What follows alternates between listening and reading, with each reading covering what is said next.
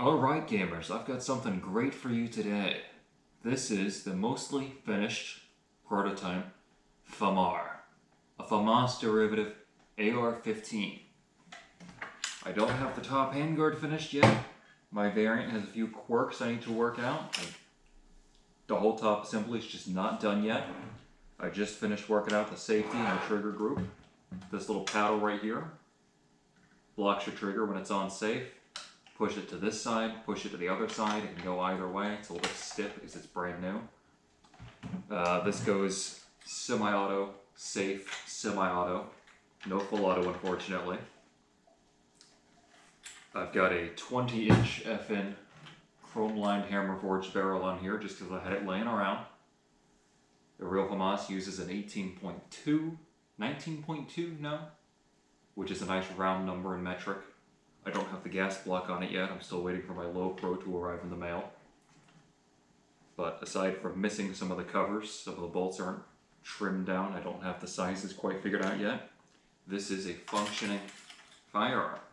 So you will get some footage of this shooting today. Before we get into the fun stuff, let's disclose what the number one advantage to this is over an AR-15.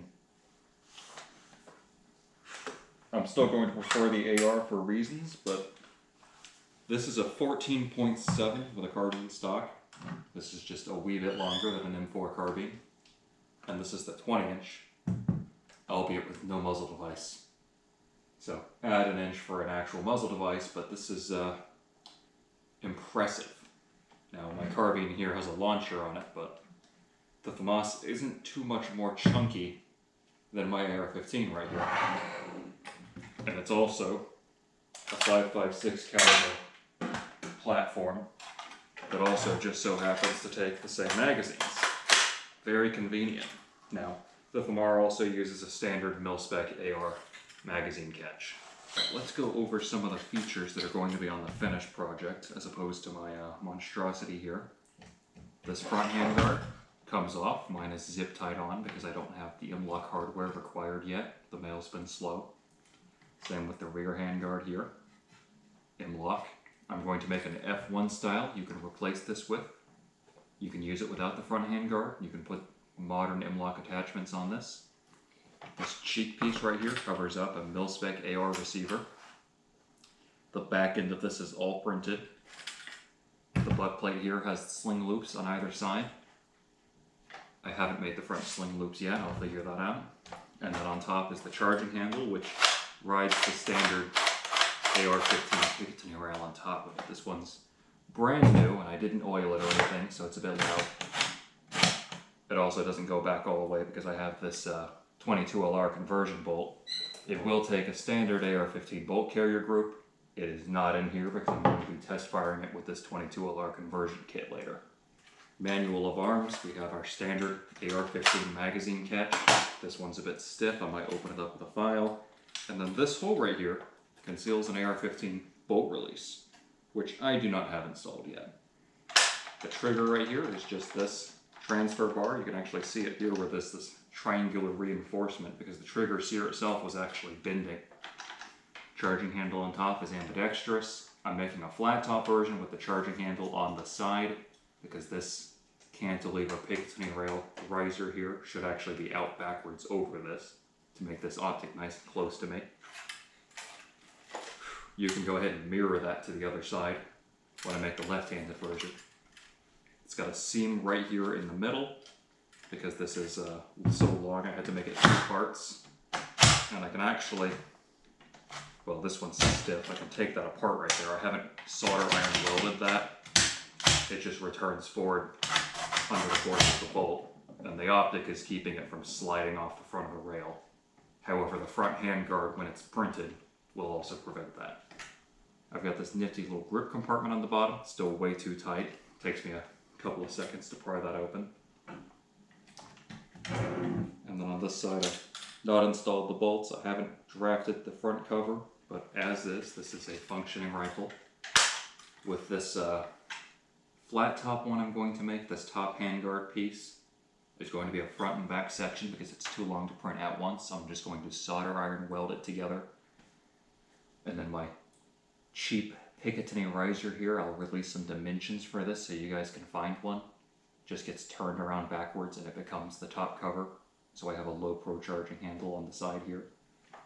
And I did also draft some iron sights that are lower profile and will fit this.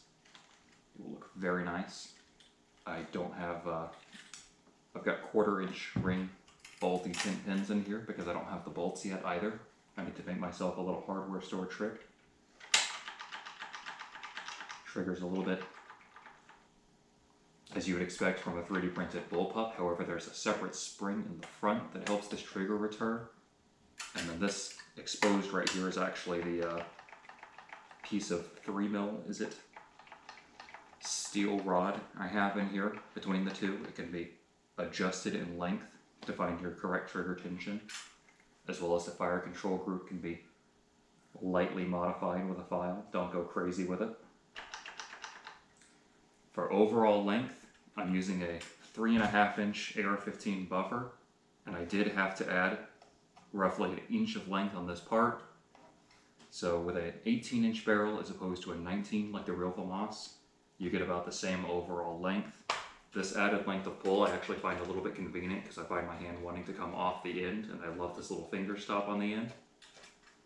But actually not using my left-handed bolt carrier, if I keep my face off of the cheek rest like I should be and come back here, kind of like on a Steyr AUG, if you pull it a little bit further forward, you can actually fire it on your offhand without eating brass. They'll teach you that in the uh, Steyr AUG proprietary course. Uh, James Reeves at TFB has a great video on this technique, but I'm probably going to be doing this a lot. I have very expensive teeth I've spent a lot of money on, so I will uh, let you guys know how this goes. But until I get my left ejecting AR upper, I think this will be it for me. Alright, so I've got my 22 LR magazine here. The FamAR takes a standard AR-15 magazine. However, since the magazine well is longer than an AR-15, it will not take those nice polymer Magpul magazines. My dual bullet box here is rated for 22 LR.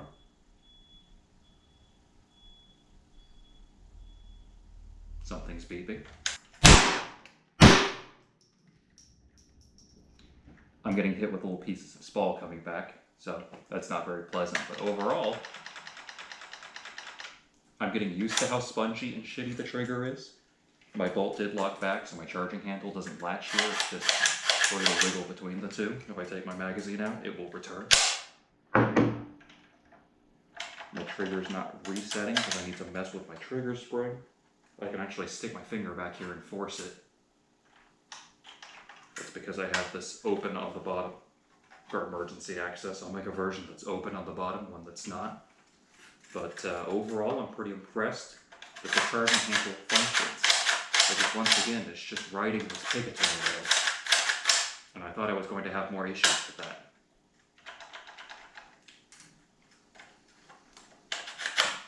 Okay, it's not that the trigger didn't reset, it's that I didn't pull it all the way because it's extra long and creepy. It'll take some getting used to, I can't really explain it, but I'm pulling it. There's where it would go on an AR-15, like a regular. And then it's got a little spongy, a little springy bit, maybe five millimeters of travel. And then it fires all the way back.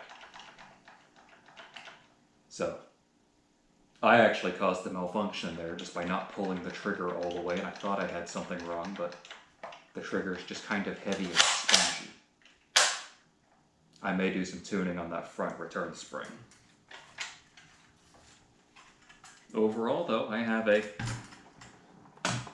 functioning facsimile of a Cold War rifle that looks absolutely ridiculous. This is my Weaver Quick Point off of my AR. I'm going to finish that low pro top handguard with the low pro iron sights. I'm going to release this with a few tweaks or as is, depending on how today goes, on the first. Happy New Year. Enjoy 2023 with your uh, Cold War era meme rifle. There's a nylon 3D printable AUG coming out that I heard of about the same time I started this. And then I've seen somebody talking about a 3D printable Enfield bullpup or an L85, 50 50 on that. So it's pretty impressive that three people just woke up one day, not knowing of the other projects, and decided I'm going to 3D print a Cold War bullpup and stick a bunch of AR 15 parts into it. And that's what I love about this community. Now, aside from my little section of the community, you guys, I've set up my SubscribeStar. You guys can fund my mad science. You guys can get early access to my mad science here. But this one is going to be releasing tomorrow 100% free. You can still give me the money. I'm not going to tell you no. But this is tomorrow free. Happy New Year.